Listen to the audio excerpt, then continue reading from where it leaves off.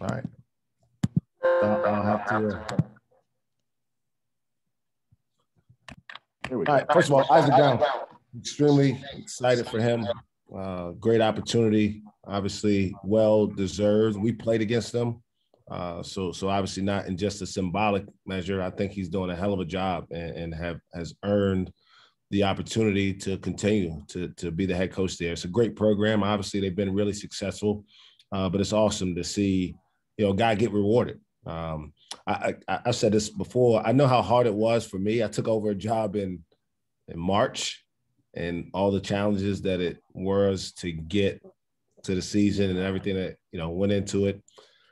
He took over in like October, and and it's not like they had like ten guys returning and things were good.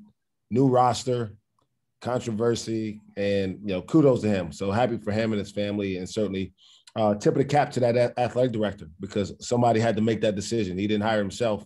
Uh, so tip of the cap to that AD and, and, administration. Hope that community continues to support him, and I know they love basketball up there. Uh, as far as OU, obviously huge game. We're um, we're excited about the opportunity to play against them. Uh, we know they've had a really really good season. Coach Kruger is one of the best in the country, and uh, I'm sure he'll have his guys ready. Uh, certainly after coming off, I'm sure what was a disappointing loss on the road for him. Um, and it's going to be a really hard game for us. Uh, they got some seniors who'll be playing in their last home Bedlam game, and, and I'm sure it'll mean as much to them as it does to us to go up there and try to compete as well as we possibly can. Yes, sir. I figured out the volume issue. Uh, and now let's take the first question from Jacob Unruh. Go ahead, Jacob. Mike, how's it going today? Great. Hey, on the on the topic of, of Isaac at Wichita State, did you know him very well before this year? Um, we've crossed paths. So Isaac was an assistant coach at Arkansas when I worked at South Carolina. He worked for John Pelphrey there. So, you know, obviously you kind of recruit same areas, you know, and you're in the same league, you play against each other. And and uh, so I've known him. I don't I wouldn't say we have a close relationship, but we've talked multiple times. And obviously I've been a, I've been supporting him throughout this year, except for, you know, that, that one afternoon in December. Uh, I wanted to see him do really well. And and I think he's done uh, exactly what, you know, you can do if you're given a chance. And never know what someone's capable of until they have an opportunity to do the job. And I'm certainly happy for him. I, I want to go and get this out of the way before Bedlam stuff. But what was your reaction to the South Carolina Lamont Evans stuff yesterday?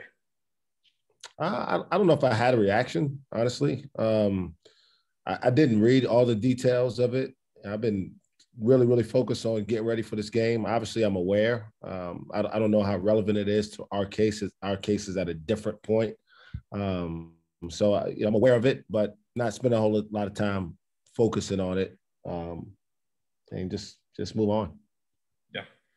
Um, and any update on Ice for this weekend? Is he gonna play? Is he ready to go more? Is he, you know, how's he feeling? You know, it's interesting. He, um, you know, his foot is much better but he hurt his hand in the game the other day. Um, and, and I don't know if it's severe, but it, it, certainly has limited him in practice here the last few days. And um, you know, he's doing what he's supposed to do, getting treatment on that. And, and, you know, we'll see tomorrow how he feels. And going against Austin Reaves uh, this weekend, he's, he's been one of the, the better scorers in the league. Um, what do you guys, what's the challenge of defending him? Uh, really crafty. Um, he has a great understanding of the game. Uh, he knows how to manufacture points, and not everybody has that ability to score when they don't shoot well. Which he, he obviously his numbers from three or down, um, but he's reinvented himself, and I think he's the leading three point uh, free throw shooter, excuse me, in the league. And he gets there not only makes them, but he gets there a lot. And so we got to try to make sure we're not putting him on the foul line to help him manufacture his scoring. Uh, and then, you know, sometimes you got to just get different bodies on him, different size, maybe some length, maybe some quickness uh, to try to keep him off balance so he doesn't get comfortable with trying to attack one one type of defense. Is you always people always try to compare players. Is is scouting him kind of like scouting Mac McClung? Maybe is that kind of the similar scoring ability, ability to create shots? Uh, in some ways, yeah, I could stretch it there. Their games were very different. Uh, Mac's got a much louder game, right? Uh, right? Austin actually can get 25 relatively quietly, right? It's hard, but he's a really good player. And, um, you know, he plays with such great pace. He doesn't really get sped up. And um, you know, he's a handful because because of that, he kind of controls the game on offense for them because he has the ball in his hand so much. Awesome. Thanks, Mike. Uh, next question is from Marshall Scott. Go ahead, Marshall. Yeah, Mike. A lot of coaches with rivalry games, they'll you know use the cliche that it's just another game. Why have you decided to go the other way with it? Uh, I, I don't know. I don't know if I ever thought about the other option. Uh, it's who I am. I um, I embrace competition. Like, like we want to win. Like it's not. I don't think it's hard. I mean, that's not. I don't think there's anything wrong with saying that. I don't know why anybody would say that it's not important, right? What we what are we playing for? And the game does mean more to, to our fans. That's it's just the reality. I mean, I, have always just tried to be pretty honest about it.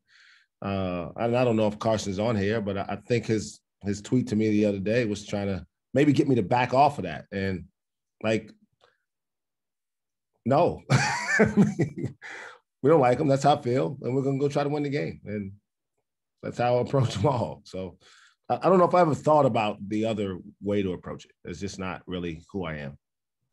You've you've talked about the importance of recruiting Oklahoma before.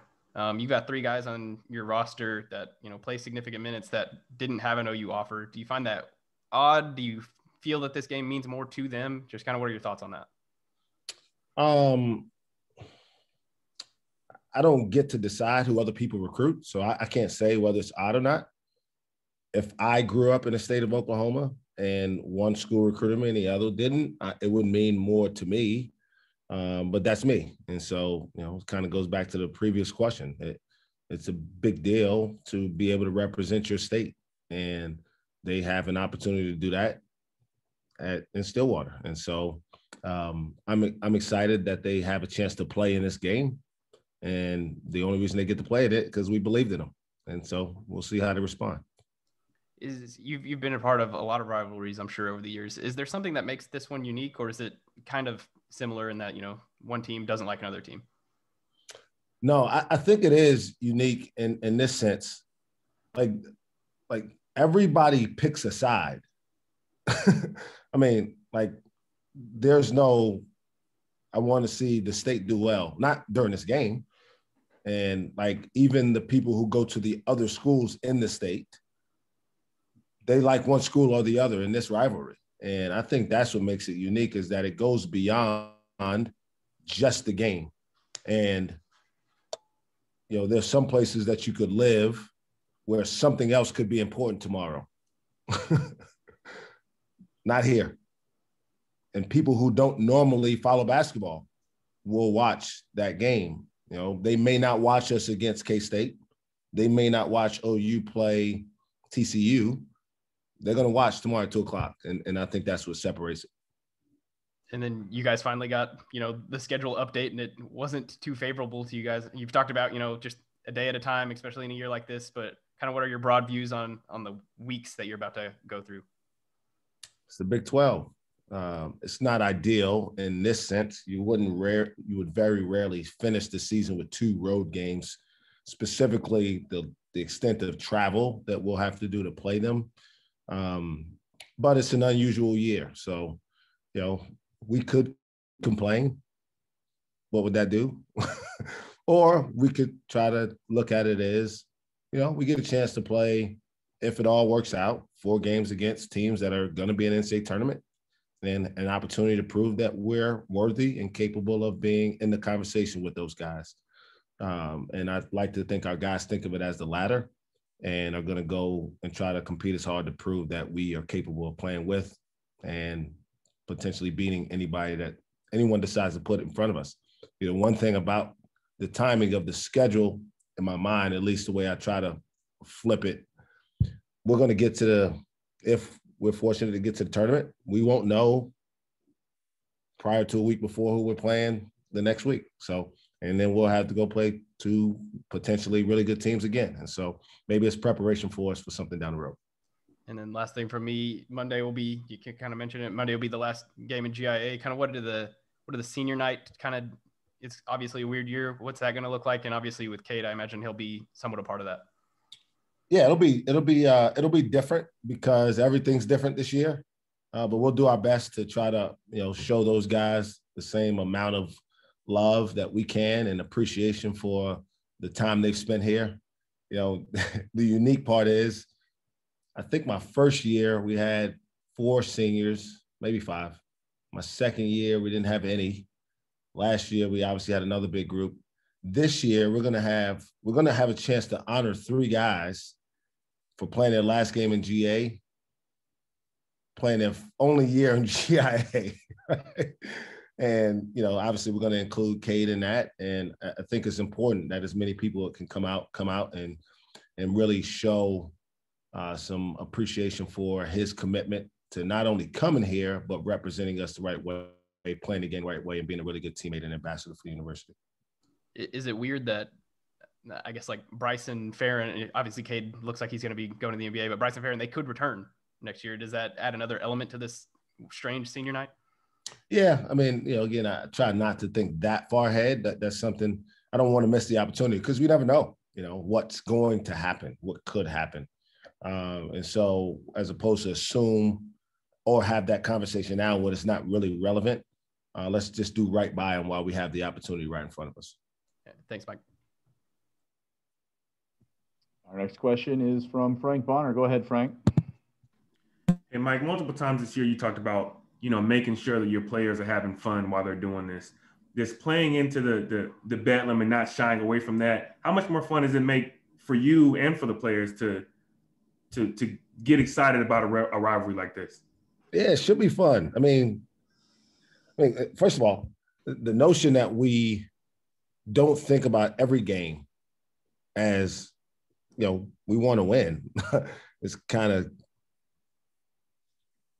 kind of crazy but we understand the gravity of this game right? We understand that the people in this state are going to show up to work on monday or show up to church on sunday and be talking about what happened tomorrow. And that's pretty cool.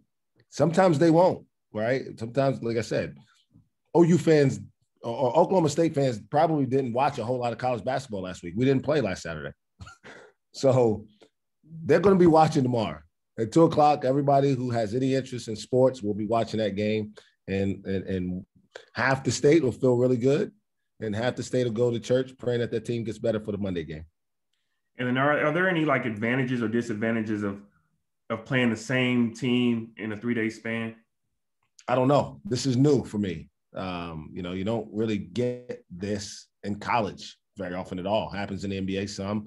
It's like kind of a baseball thing, right? Where you have these series, um, and so I, I'm curious to see, and obviously, I want to focus on tomorrow, but what does Sunday look like? I have no idea, really. You know, it's kind of different. What do we practice? Like, do we go over stuff? I mean, I don't know. I got no idea. So just focus on tomorrow, and then maybe on Tuesday you can ask for that but do you think there's any stock in because win or lose, there's going to be things that you're going to take away from that that game that you, you're going to need to work on. Is there any stock in knowing that whatever it is you say you need to work on, they literally have, you know, a day or two later to to implement it that quick against the same team? Yeah, I'll be careful here. Part of me wants to say, why don't we just play 80 minutes and you know go home? but we're not going to do that. Um, but yeah, I mean, on Sunday we'll watch the film. Win or lose, we'll figure out what we need to do to play better on Monday, right? And that's a part of it. And it'll be interesting to see how our kids adjust because it'll be weird playing the same guys that much time consecutively. I mean, it's just I have no, I really have no idea how, how to how to approach it at this point. We'll see after the game. Maybe on Sunday morning I have a better idea how to approach practice. All right. Well, if we get a chance, I'll ask you then. All right. Do we have any other follow up questions for Coach Boynton? Ah, Marshall Scott. Go ahead, Marshall. Yeah, Mike, you mentioned, you know, we talk about the two games in three days kind of deal. Is there, and all the extra emotion that comes with Bedlam, is there any worry that, you know, emotions are going to spill over? Do you have a talk with your guys about that kind of stuff with them, you know, seeing these other guys so frequently? No, I, I no, I don't. I don't. That's not a concern. Um, you know, the one thing we talk about, um, emotion is a good place to start. It's a good reason to get motivated because something made you feel a certain way, but it's a bad place to end. right. So, so emotion is a good place to start, but it's not. It's not the best place to end. If if when it's over, the only thing you have left is emotion. Probably didn't do something very effectively. So, there's going to be a time we actually have to play the game well we have to execute offensively. We have to rebound. We can't foul Reaves six times and give him 12 free throws, stuff like that. So the emotion will have to settle, um, but the game will still mean in terms of the impact. There's a lot of stuff at stake here. I mean, we're not just talking about just the rival as, as much as that's important.